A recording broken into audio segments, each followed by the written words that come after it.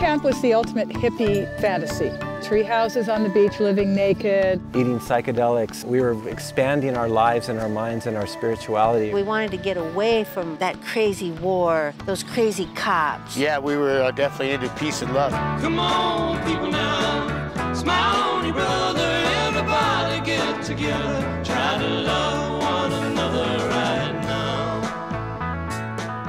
You like the name Taylor Camp because Taylor Camp is Elizabeth Taylor's brother.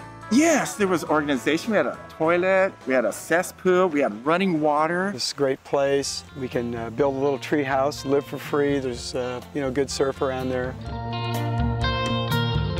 I surfed and, you know, I mean, I just had this wonderful, beautiful, healthy life.